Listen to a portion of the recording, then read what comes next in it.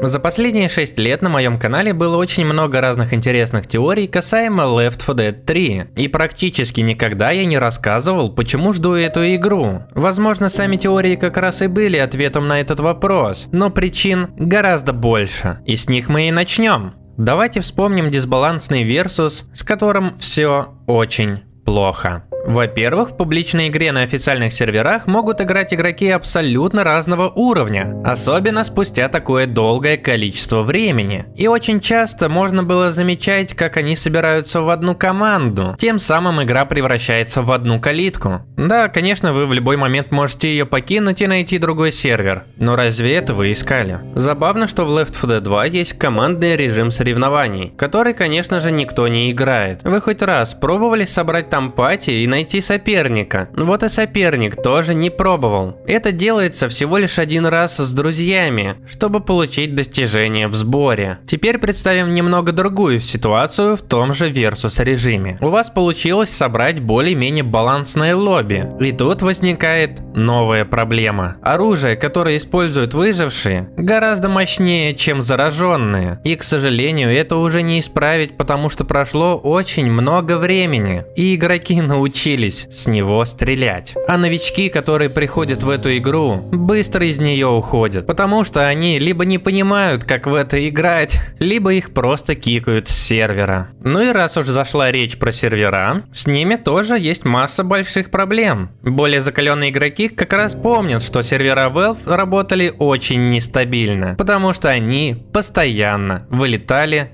или были отключены. Удовольствие вы от этого получаете тоже неполноценное, потому что они используют слишком маленький тикрейт, а изменить свою интерполяцию, чтобы хоть как-то игра приблизилась к адекватной, может не каждый. Единственный способ нормально играть в Versus режим – это неофициальные сервера, но такие еще надо поискать. И здесь ситуация настолько критичная, что из всех неофициальных серверов можно выделить только один. Если быть точнее, это не прям совсем один сервер, это группа серверов, на которых вы можете адекватно играть. И поверьте мне, на таких серверах игра в Versus режиме максимально отличается от того, что вы видите на обычном паблике. Такое положение укрепилось в Left 4 Dead уже очень давно. Об этих серверах знает не каждый, и поэтому они абсолютно исключают непрофессиональных игроков. И то не всегда. И разве вам не кажется, что здесь пора делать новую игру? На этих неофициальных серверах очень часто проводили турниры. Практически каждый год можно было лицезреть от одного до трех турниров. И все они были на высшем уровне. Мне кажется, игроки доказали, что в лифте нужна соревновательная дисциплина, а не просто по фану бегать убивать зомби. И когда я лично сам участвовал в турнирах, а также наблюдал за ними со стороны, то неоднократно сравнивал их уровень зрелищности с турнирами в Dota 2, до которого лифта вполне дотягивает. Versus в серии игр Left 4 Dead очень даже может в киберспорт. И это одна из главных причин, почему же я жду Left 4 Dead 3. now. Here comes the quad. Beautiful ski by Slay, but that's a double charge and a momentary triple cap with that pull and that jockey landing. Not the quad, but a nice amount of damage, Alexi. Все мы прекрасно помним, что концепт Left 4 Dead появился благодаря Counter-Strike Source, когда разработчики играли против 30 ботов и в руках у них был только нож. Эта идея обрела невероятный масштаб, а потом сразу через год у нее появился сиквел. Ровно то же самое произошло и с Counter-Strike Global Offensive. Разработчики просто взяли Left 4 Dead 2 и из этой игры сделали новый Counter-Strike, который сейчас обновляется гораздо чаще. И абсолютно все изменения, которые происходит в этой игре, включая также и будущее, вполне возможно могут перекочевать и в Left 4 Dead 3. Да простят меня все каэсеры, которым нравится эта игра, но если говорить простыми словами, CSGO это ранний билд Left 4 Dead 3. Нравится вам это или нет? И давайте прямо сейчас выясним, что же можно позаимствовать из Counter-Strike Global Offensive, чтобы добавить это в будущее продолжение Left 4 Dead. И первое, что бросается в глаза, это, конечно же, главное меню. Довольно сложно сказать, что оно очень удобное в плане навигации, но визуально это все выглядит, конечно же, красиво. Можно покрутить персонажа, приятные звуки, также можно заменить фон, да даже можно изменить оружие, которое держит ваш персонаж. Так или иначе, разработчики разработчики скорее всего позаимствуют те или иные элементы из этого главного меню. Выбор той или иной стороны тоже можно в принципе позаимствовать. Вместо обычных статичных картинок здесь стоят персонажи и даже проигрывают какую-то анимацию. И я думаю абсолютно без сомнений гораздо приятнее смотреть именно на это. Огромное количество нововведений также можно позаимствовать из режима Danger Zone. Здесь игра в Counter-Strike совершенно в какой-то другой вселенной. И первое, что бросается в этом режиме в глаза, это как персонаж спускается на тросе. Такая анимация неплохо бы смотрелась и в Left 4 Dead. Например, в начале кампании, когда мы спускаемся на тросе по приказу военных, чтобы что-то для них найти. А в конце кампании, когда мы выполним задание, то ровно так же ухватимся за трос и улетим в закат. Еще одна примечательная особенность – это рукопашный бой. Так и хочется какому-нибудь зомбаку снести челюсть. Также немаловажным будет отметить на секундочку метательное оружие. И речь не про какие-то там гранаты, которых и так везде полно. Вы можете просто взять обычный гаечный ключ и бросить его во врага. И я думаю, бросаться в зомбаков всякими разными предметами будет довольно весело. И еще мне очень нравится, как здесь пополняются патроны. Если мы их вспомним в Left 4 Dead, то там просто лежит огромная бесконечная куча, которая никогда не заканчивается. Здесь же это выглядит довольно реалистично.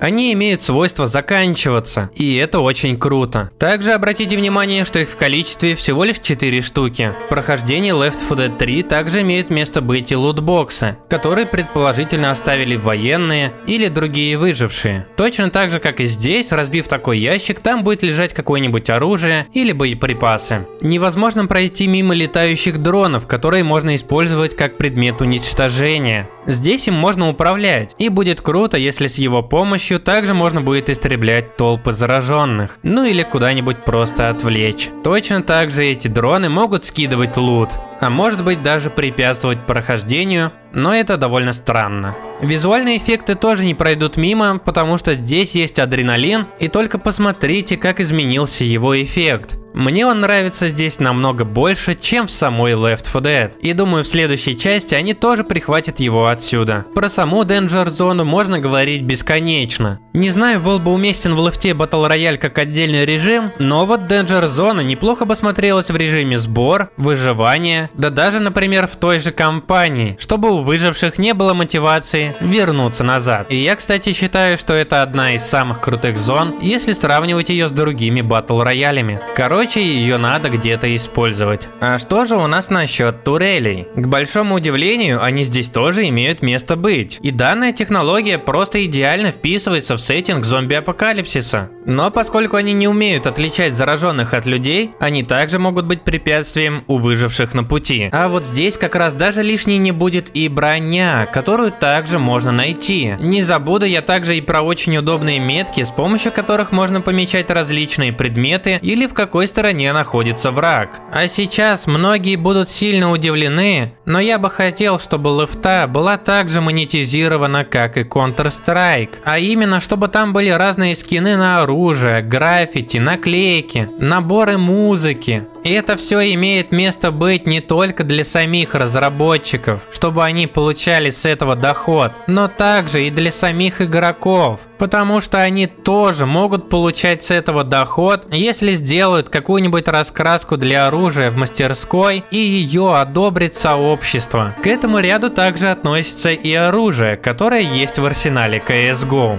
И я это говорю не просто так, потому что то же самое было из серии Left 4 Dead. Чтобы тестировать тестировать оружие, которое будет в этой игре, им надо его где-то взять. Именно поэтому в серии Left 4 Dead можно наблюдать оружие из Counter-Strike. Арсенал CSGO сейчас у вас перед глазами. Все эти пушки вполне вероятно будут в продолжении, а я лишь скажу, что звуки, которые также были впоследствии изменены, также вполне возможно окажутся в Left 4 Dead 3, но лучше бы этого, конечно, не происходило. И я очень надеюсь, что в наших ушах будет звучать что-то получше лучше. Также не стоит забывать и про рукопашное оружие, арсенал которого скорее всего тоже пополнится. И одним из самых вероятных рукопашных оружий, скорее всего, будет огнетушитель. Давайте вспомним обложку комикса «Жертва», который разработчики сделали для серии Left 4 Dead. В одной из глав Луис как раз его использует как рукопашное оружие. И во время прохождения мы все прекрасно помним, что его можно встретить на каждом ходу. Может быть с его помощью мы также сможем тушить огонь, ну или пуканы бомбящих тиммейтов.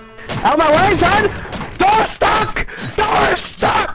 Но об этом все же еще рановато мечтать, потому что Counter-Strike Global Offensive собирается перейти на Source 2 движок. Пять лет назад я был одним из первых, кто начал об этом говорить, и с каждым годом это становится возможным все больше и больше. И если Counter-Strike Global Offensive все же перейдет на Source 2 движок, разработчики в этом решении будут абсолютно правы. Потому что CSGO это шутер от первого лица с миллионной аудиторией, и где как не здесь, его тестировать. Да, сейчас есть Dota 2 на Source 2 движке, Half-Life Alyx на Source 2 движке, но все эти игры максимально противоположные друг другу. Dota 2 это MMORPG, а Half-Life Alyx это вообще VR. И Source 2 движок как раз имел огромный ряд проблем в играх с элементами шутера от первого лица. Уже ни для кого не секрет, что компания Valve в 2013 году хотела создать на Source 2 движке Half-Life 3 и Left 4 Dead 3.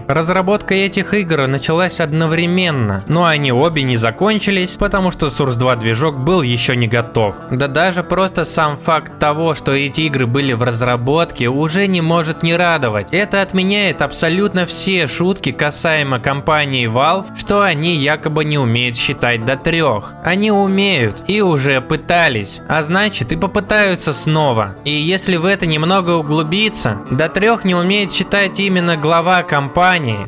Triple three, as in you've killed three heroes. I don't understand.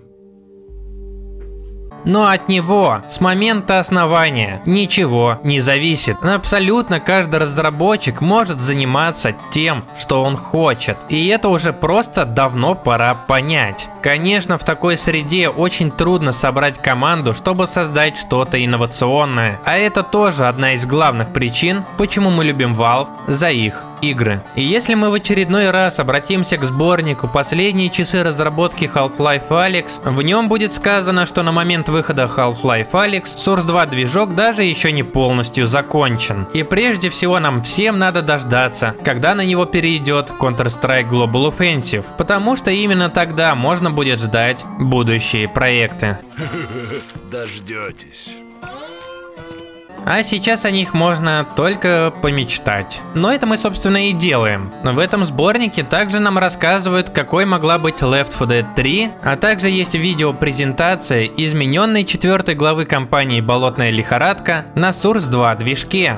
В 2010 году разработчики уже начали тестировать Source 2 движок. И одним из тестов как раз и была четвертая глава компании «Болотная лихорадка», сливы которой мы также получили в 2013 году. Когда, кстати, началась разработка Left 4 Dead 3. К большому сожалению, разработчики начали делать эту игру на незаконченном движке. Место действия игры должно было происходить в Марокко, и у нас есть слитые скриншоты. На первый взгляд может показаться, что это концепт карты Сирока из Counter-Strike Global Offensive, но, к сожалению, это не она она. Это концепт Left 4 Dead 3, который оказался неудачным и чтобы не пропадать добру, как раз и был использован в CSGO. Именно поэтому карта Сирока имеет точно такое же название, как и Марокко, где как раз и должно было развернуться место действия Left 4 Dead 3. Концепция игры заключалась в том, что игра будет в открытом мире, который будет насчитывать огромное количество зараженных, а его локации постоянно бы менялись в зависимости от степени прохождения. И если если честно, может быть даже и к лучшему, что у них ничего не получилось, потому что я напомню, что Left 4 Dead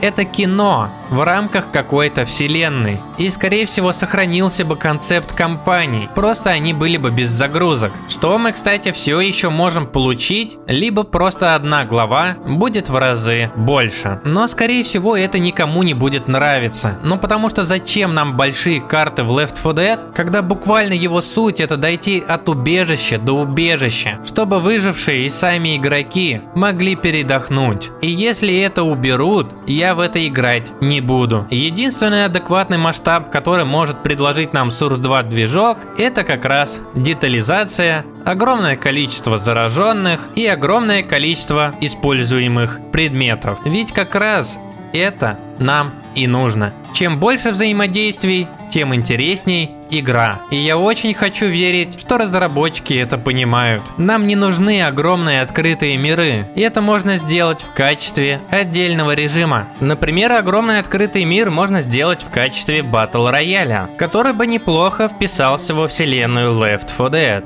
Заряжай, стреляй, вот и все дела!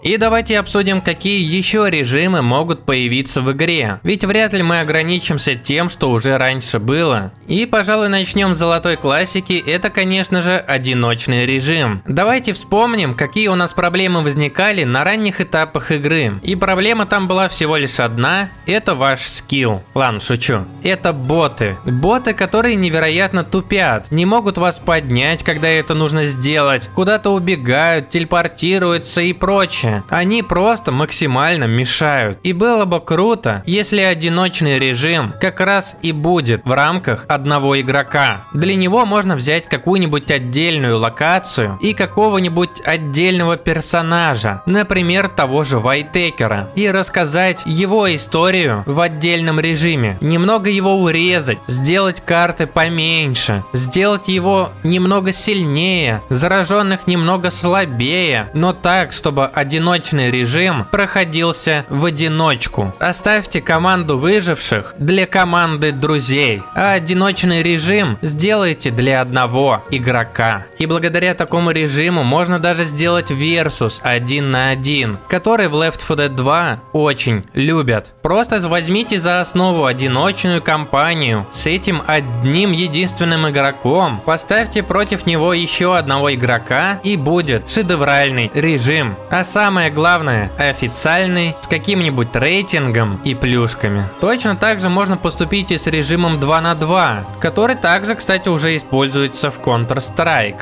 Если его добавили туда, почему бы не добавить и в лифту? Возьмите также два персонажа, которые, не знаю, разделились от группы выживших или еще что-то. Сделайте для них специально отделенные кампании, расскажите их историю, а также сделайте из этого версус. Это будет будет только огромный плюс. И раз уж на то пошло, давайте уже и про 3 на 3 поговорим. Здесь, кстати, можно рассказать историю выживших из первой части, потому что, как мы помним, их осталось трое. И было бы очень круто узнать их историю, а также поиграть Versus режим. Но и классические режимы можно даже не упоминать. Конечно же, они должны быть в игре, потому что надо сохранять каноны. Самое главное, я очень надеюсь, что появится соревновательный режим, который есть в Counter-Strike Global Offensive, во второй Доте и даже в Team Fortress 2. И серия Left 4 Dead заслуживает его не меньше. В качестве рангов очень бы неплохо смотрелись особые зараженные, особенно если учитывать то, что их может прибавиться. Как я уже говорил в начале видео, Left 4 Dead может в киберспорт, и здесь обязана быть игра на рейтинг. Это даже не просто желание, это мечта. А вот режим сбор, кстати, менее актуален в этой игре, потому что его играют всего лишь на одной единственной карте, и это крыша No Mercy. Если в игре не будет крыши No Mercy, этому нужна либо достойная замена, либо перенести ее в игру, потому что без этой карты в сбор скорее всего никто играть не будет.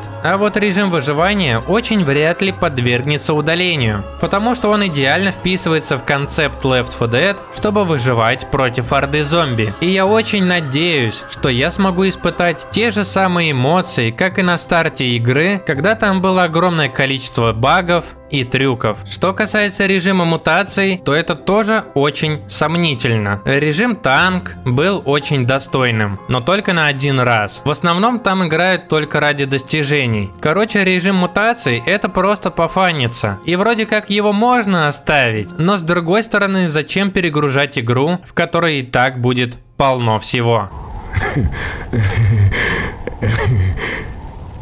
А если говорить про новые режимы, то я бы с удовольствием заценил что-нибудь связанное с машинами. Поездки на разном транспорте как раз и можно сделать в качестве отдельного режима. Ну, потому что во время прохождения кампании это скорее всего выглядело бы довольно странно. А вот в качестве отдельного режима вполне неплохо. Например, в этом режиме можно показать путь выживших, который они проделывают, когда заканчивают кампанию на том или ином транспорте. Ну и здесь, скорее всего, тоже будет классическая выживалка, когда ты едешь на транспорте, пытаешься уворачиваться от препятствий и сбиваешь кучу зараженных, набирая очки. Я считаю, что это очень достойный режим и заслуживает отдельного внимания. Как мы помним, управлять транспортом в играх от Valve можно было практически всегда. И будет очень интересно, как же эта возможность сможет прокачаться. Насколько сильно изменится эта технология благодаря Source 2 движку и какие вообще ощущения мы сможем от этого испытывать. Но начнем с того, что одной машиной этот режим явно не ограничится. Сюда можно добавить и машину Джимми Гибса, и автобус полуночных всадников, и даже машины из серии Half-Life, особенно из второго эпизода. Может быть она, конечно, не вписывается в рамки этой серии, но как бонусную машину, в принципе, вполне можно добавить. То есть вам в этом режиме еще предстоит набрать огромное количество очков, чтобы разблокировать этот транспорт. Но зная компанию Valve, он также может быть и просто за деньги. Ну и конечно же здесь будет транспорт, который непосредственно будут использовать выжившие самой игры. И самое главное во всем этом конечно же будут звуки. Valve предстоит записать огромное количество рева моторов, а также звуки покрышек и многое остальное, потому что даже физика не сможет передать все ощущения, как это сделают звуки. И здесь они должны быть на высшем уровне. В самом режиме непосредственно машина также может постепенно разрушаться. Например,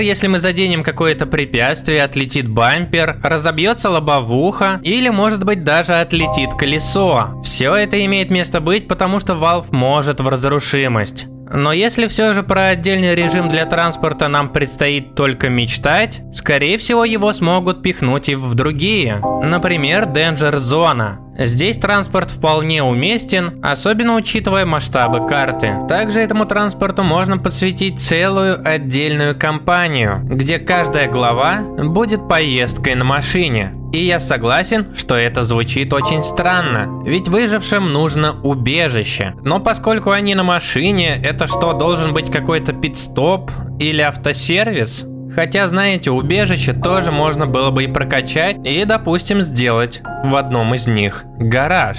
Ведь мы говорим про игру, масштабы которой будут в два раза больше. Например, выжившие смогут открыть гараж и поставить туда машину. И в самом убежище мы сможем эту машину как-то модифицировать, чтобы отправиться дальше. Эти модификации будут очень неплохо передавать атмосферу зомби-апокалипсиса, потому что, как мы знаем, практически в каждом фильме на такие машины ставятся те или иные обвесы, чтобы беспрепятственно на ней проехать как можно дольше или как можно дальше. В этом и будет заключаться все прохождение этой кампании, и это будет очень нестандартно. И пока я все это рассказывал, ко мне пришла гениальная идея, а что если машиной в рамках отдельной кампании будет управлять всего лишь один человек. Ведь буквально недавно я как раз рассказывал, что в рамках одиночного режима можно рассказать историю одного персонажа. И чтобы она не была слишком скучной или похожей на какого-то шизофреника, машина здесь идеальный вариант. То есть фактически вас никто не может поймать, вас не могут зажать толпы зараженных, да и вообще вам никто не может противостоять. Единственное препятствие, которое может быть в этом режиме, это различные баррикады, от которых будет ваша машина постепенно разрушаться. И я считаю, что это будет самый лучший вариант совместить поездку на транспорте вместе с одиночным режимом, чтобы игроки максимально получали от этого удовольствие и наслаждались игрой. Вместо того, чтобы ждать, когда их поднимут боты, которые телепортируются или очень сильно тупят. А вот во время обычного прохождения кампании мне все еще сложно представить поездку на транспорте. Разве что это будет какая-то отдельная глава между остальными, где мы как раз и будем использовать транспорт, но из-за какой-то технической поломки или огромного количества зараженных он далеко не уедет. В общем, компания Valve просто обязана научить выживших их водить. Ха-ха! Да нам теперь сам черт не страшен. И давайте подумаем, какие еще новые возможности ждут наших выживших. Прямо сейчас в серии Left 4 Dead очень слабая настройка прицела. И выжившим просто не хватает этой функции, чтобы мы могли за них настраивать тот или иной прицел, который нам нравится. Правда, лично я играю совершенно без прицела, потому что он у меня внутри монитора. А другие игроки используют сторонние приложения или программы, но все равно не будет лишним сделать это доступным для каждого игрока. acá. Да и в принципе, как я уже говорил, всю эту технологию могут взять из Counter-Strike Global Offensive. Здесь она на высшем уровне, и другие игроки даже могут видеть ваш прицел, а также его позаимствовать. Про рукопашный бой мы тоже уже говорили, но сейчас мы обсудим его еще более детальней. Ну, во-первых, это очень весело, а веселье главный козырь Left 4 Dead. Во-вторых, у выживших очень не хватает возможности менять рукопашное оружие на пистолеты. Это необходимо, чтобы мы могли отбиваться от зомби не только на ближней дистанции, но также использовать пистолеты, если у основного оружия закончились патроны. И если мы не нашли пистолеты или рукопашное оружие, рукопашный бой здесь также будет уместен. Ровно так же будет уместен и удар ногой. Ну, примерно точно так же, как Элис это делает во вступительном ролике. Такая возможность тоже будет очень веселой, а главное эффективной. Ведь если у нас закончилась перезарядка приклада, мы всегда сможем использовать ногу. В некоторых ситуациях выжившим также очень не хватает возможности ползать. Например, когда вас вывели из строя, а другого выжившего схватили за углом. И вам так и хочется немного проползти вперед, чтобы отстрелить зараженного. Очень странно, что мы этого не можем сделать. И очень странно, что Valve хотели это сделать. Анимация того, как мы ползаем, есть в Source моде и используется на неофициальных серверах. А раз уж она используется на неофициальных серверах, можно было бы это сделать и в основной игре. И на некоторых картах бывают такие места, где если выжившего вывели из строя, его уже никто не сможет спасти, потому что он был последний. Туда нет никакой возможности вернуться, и единственный способ здесь как-то надеяться на спасение – попытаться проползти вперед, пока не схватили другие зараженные. Дерьмо!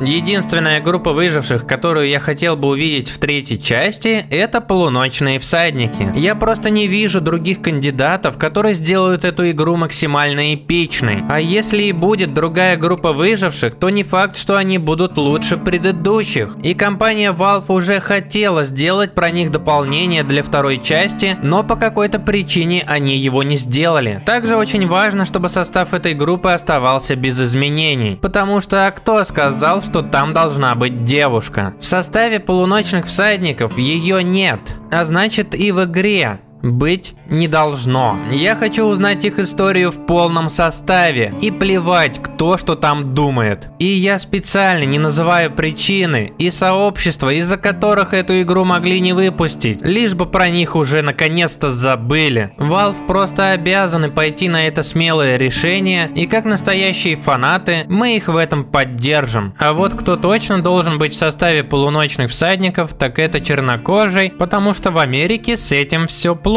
И к большому удивлению, в составе полуночных всадников он есть. И это Окс. На официальном сайте всадников можно найти изображение, где они представлены в цвете. И там прекрасно видно, что Окс темнокожий. А теперь давайте представим, какой же будет игра, если в составе выживших будут полуночные всадники. Как и любая другая игра, она начинается с концепт-артов. И к большому удивлению, дополнение, которое хотели создать разработчики, имеет концепт-арт. Он находится в иллюстрациях Steam, и его опубликовал официальный аккаунт разработчика Valve. И на нем изображено, как Джейк в прыжке со своего мотоцикла сражается с жакеем, который имеет весьма необычный вид. И давайте по порядку. Во-первых, здесь очень интересный фон, который своим видом напоминает компанию Переход, где также было все фиолетовое и светящиеся окна. Во-вторых, это мотоцикл.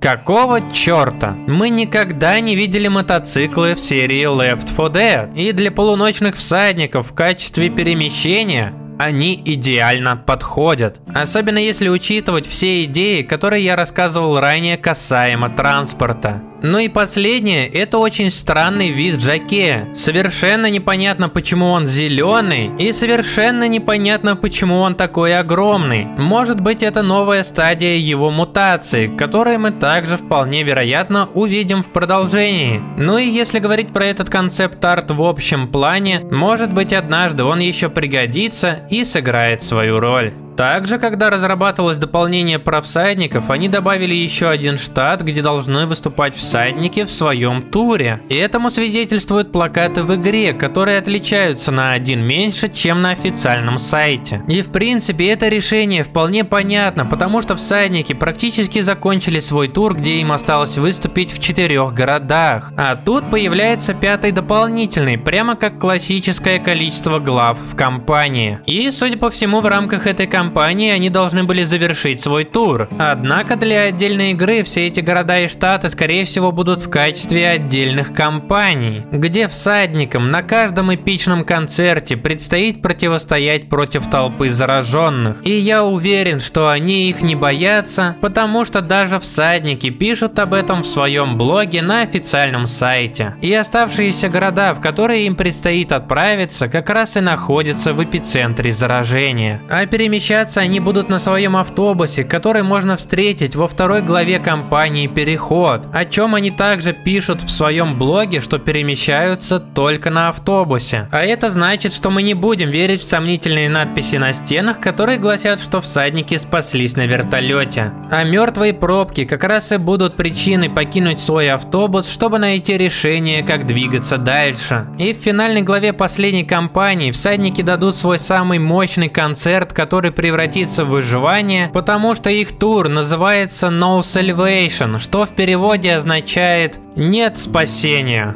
Всех убью, один останусь. Однажды в Left 4 Dead 2 перенесли практически полностью весь первый Left со всеми его выжившими и компаниями. Исправили многие баги на картах, пофиксили их для режима сражения. И все это потому, что первая часть очень быстро перестала быть актуальной. По сравнению с Left 4 Dead 2 в нее играет очень маленькое количество людей. Ну и как бы нету смысла ей заниматься. Лучше уж просто перенести все в одну игру, которая хотя бы иногда обновляется. И ровно такая же ситуация может возникнуть с третьей частью игры. Но поскольку она будет на Source 2 движке, все эти компании мы можем увидеть сразу. Это как раз и будет символизировать цифру 3, потому что Left 4 Dead 2 это не продолжение первой части, это отдельная история про других выживших. И соответственно третья часть тоже будет отдельной историей про других выживших, а цифра 3 будет символизировать три игры внутри одной.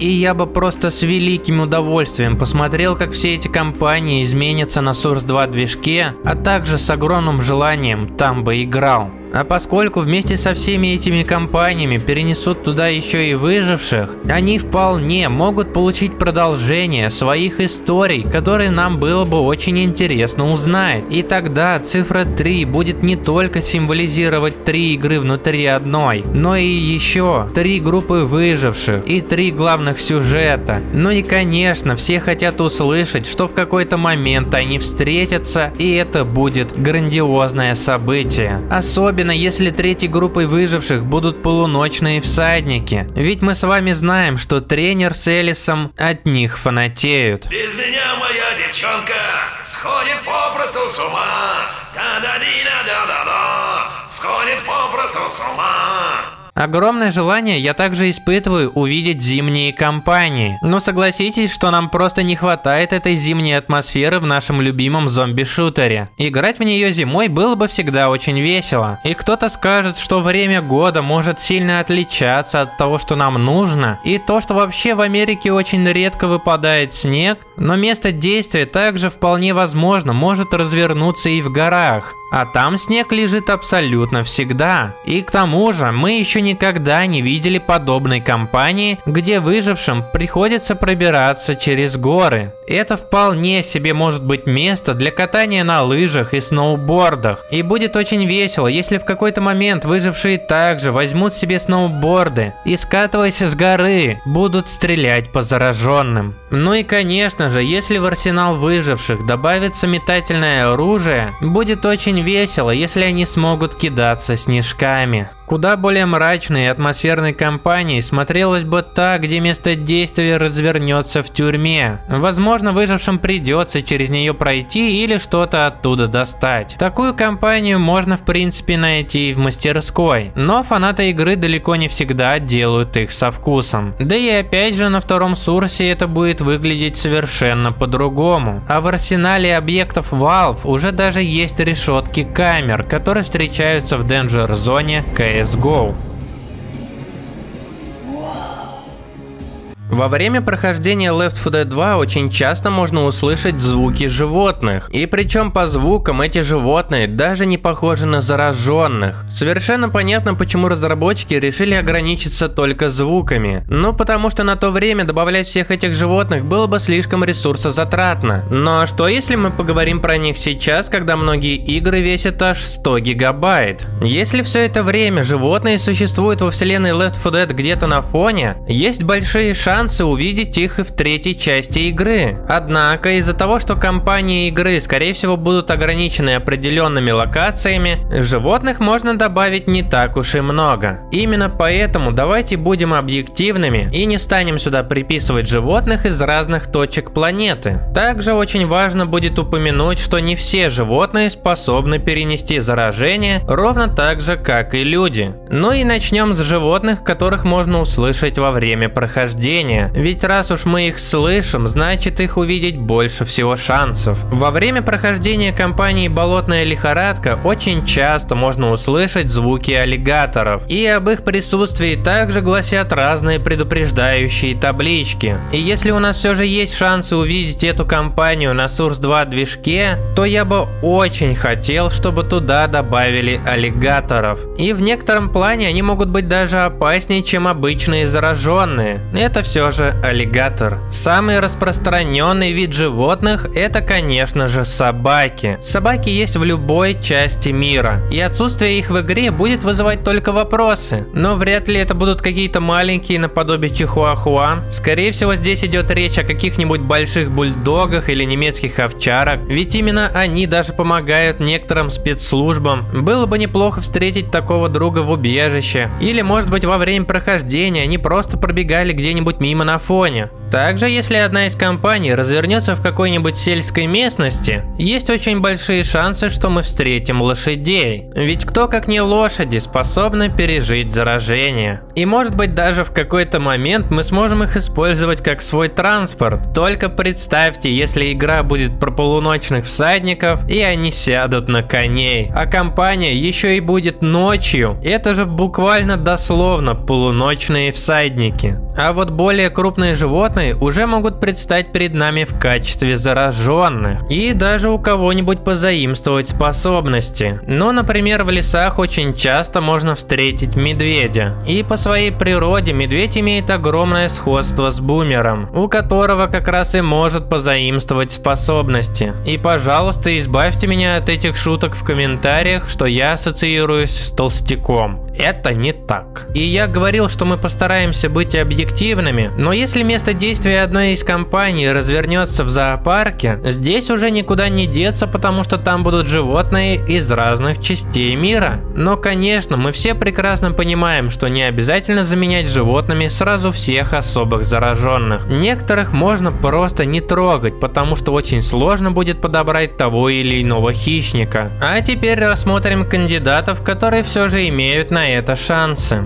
Очень хотелось бы видеть кенгуру. И здесь он подходит под описание сразу трех особых зараженных. Первый, конечно, очень сомнительный, это плевальщица. Я не знаю, почему у меня такая ассоциация, но, наверное, сходство есть. У второго особо зараженного чуть больше шансов, и это охотник. В принципе, кенгуру точно так же может отпрыгивать от стены и нападать с большой высоты. Ну и последний это громила. Все мы знаем, что кенгуру очень любит боксировать, а также у них большие лапы. И в принципе, если он мутирует, то будет очень похож на громилу с этой же огромной рукой, большой ногой, ну и рывком куда-нибудь в стену. Ну и последние наши кандидаты это приматы, одним из которых раньше должен был быть Жакей, но его все же приблизили к человеческой форме. Так вот, в рамках этой кампании он все же имеет шансы на то, чтобы быть обезьяной. Ну и королем всех этих джунглей будет танк в качестве гориллы.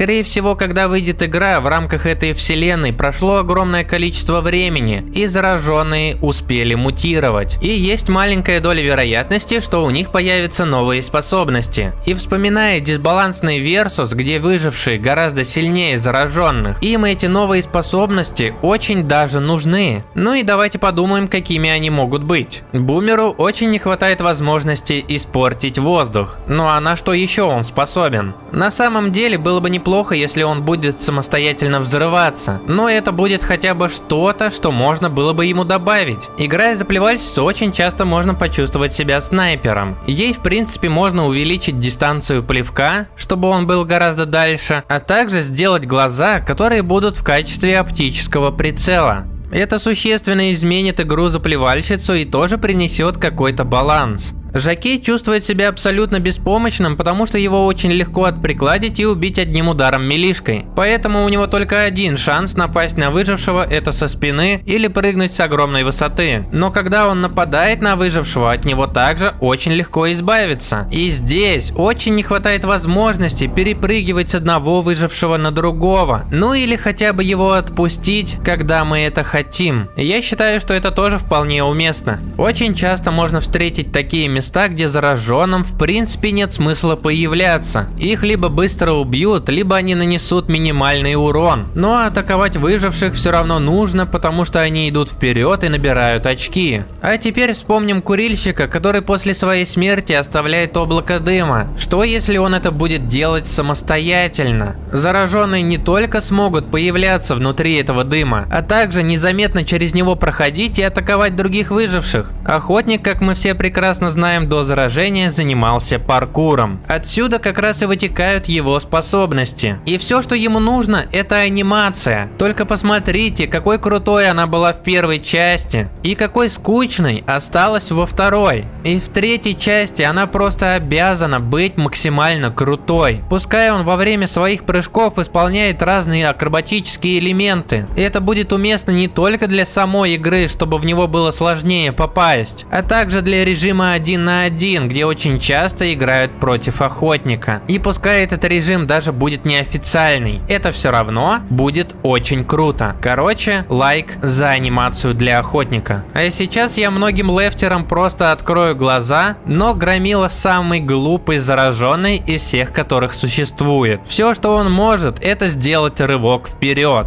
И ему абсолютно не важно, поймает он выжившего или упрется башкой в стену. Ему просто надо сделать сделать рывок. Именно поэтому он делает его по одной линии. И я бы сказал, что он мог бы управлять своим рывком, но это будет дисбаланс. Потому что Громили и так помогает огромное количество зараженных, чтобы он кого-то поймал. И вот когда он поймает выжившего, ему не хватает возможности его куда-то откинуть. Вы можете либо продолжать его бить, когда он схвачен, либо просто взять и выкинуть куда-нибудь в сторону. У танка есть три вида анимации, как он бросает свой камень. И на обычном сервере непонятно, как устроена эта функция, потому что он просто берет тот камень, который ему хочется. И было бы неплохо, если бы мы сами выбирали, какой вид камня кинуть, например, как это уже работает на неофициальных серверах. Также было бы неплохо, если бы он бросал то, на чем он стоит, а не просто брал бы камень оттуда, откуда его в принципе невозможно взять.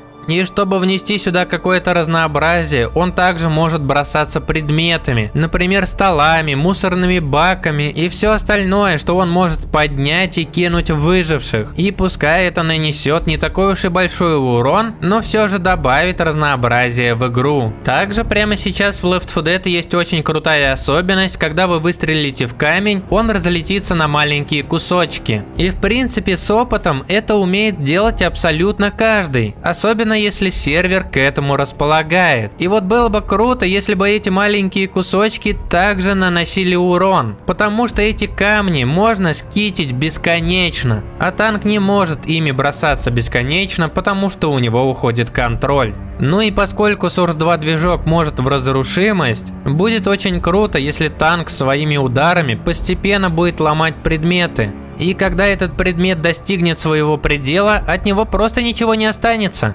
Это намного круче, если бы они просто исчезали. Ведьма на данный момент единственный пассивный зараженный, и я уверен, что абсолютно каждый хотел бы за нее поиграть. Да, это опять же можно делать на неофициальных серверах, но в официальной игре эта возможность остается недоступной. И было бы неплохо, если ее добавят, потому что ведьма не представляет никакой угрозы. Для выживших она буквально как обычный зараженный. И здесь тоже не хватает капельки баланса, который будет, если за нее мы сможем играть. Также я очень надеюсь, что всем особым зараженным уберут цветовую гамму, которая показывает, когда мы находимся в состоянии призрака или уже появились. Думаю, никто не станет отрицать, что она очень ужасная. У многих от нее просто нереально болят глаза, и будет совершенно не лишним, если мы сможем настраивать ее насыщенность, ну либо хотя бы цвета будут намного приятней. И вот вам небольшой лайфхак, который многие применяют в игре, чтобы ее убрать. Просто удалите из папки с игрой эти файлы и наслаждайтесь.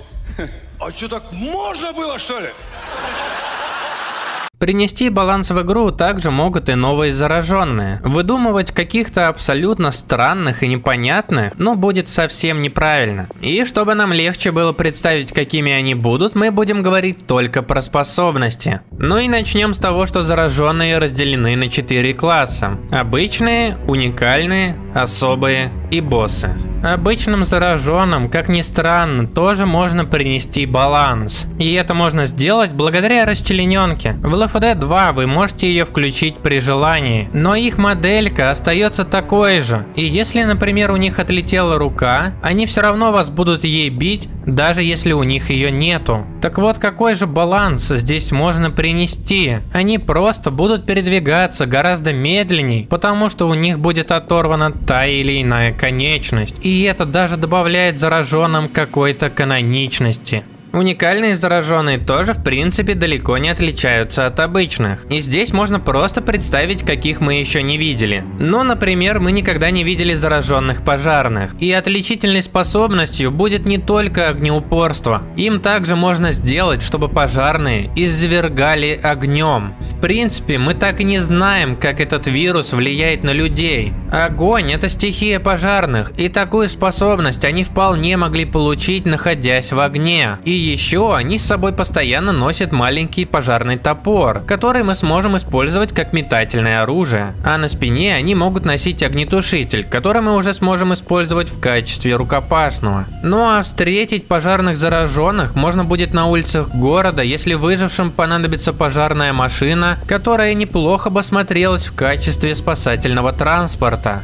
Немного ранее я упоминал компанию, место действия которой может развернуться в тюрьме. И я упомянул ее не просто так, потому что там мы сможем встретить заключенных зараженных. И они тоже будут относиться к классу уникальных, потому что у некоторых заключенных могут быть цепи на руках и ногах, которыми они будут греметь и привлекать других зараженных по принципу клоуна. Также в качестве уникального зараженного неплохо бы смотрелись и собаки. Собаки есть абсолютно в каждой части мира, и в папке с игрой до сих пор можно найти звуки зараженной собаки. И этот файл даже так и называется. И поэтому увидеть зараженных собак будет намного вероятнее, чем вообще что-либо еще. Теперь перейдем немного к другому классу, и поговорим про особых зараженных. Как я уже говорил, выдумывать совершенно странных нету никакого смысла, и поэтому я просто скажу про способности, которых еще не было и которые могут повлиять на баланс. Ну и первый мой кандидат это слепой. Он может быть не только в качестве особого, но также и боссом, и даже пассивным боссом. Такой зараженный должен быть гораздо сильнее, чем танк. И как раз если он кого-нибудь поймает, он положит его одним ударом, как это делает ведьма. А ведьма, соответственно, уже так не сможет. Во-вторых, сможем ли мы играть за такого зараженного? И в принципе это возможно и будет даже очень весело. Перед глазами у вас может быть абсолютно черный экран. Вы будете ориентироваться только на звуки, ну или даже подсказки друзей. И если кто-нибудь попадется такому зараженному, это уже будет его проблема. И такой зараженный в принципе должен обладать хорошим слухом. Поэтому если нам все же доведется за него поиграть, скорее всего все остальные звуки будут немного урезаны. И мы, например, будем слышать только выстрелы или шаги. Поэтому за счет слепого количество боссов может прибавиться. Добавить баланса в игру может особый зараженный, который будет оглушать выживших. Такой способности мы еще никогда не видели и она будет очень уместна. Потому что звуки в лефте это первое, на что надо ориентироваться. Зараженные появляются вне вашего поля зрения. И появление сопровождается соответствующим звуком, на который мы как раз и должны ориентироваться, чтобы вовремя среагировать.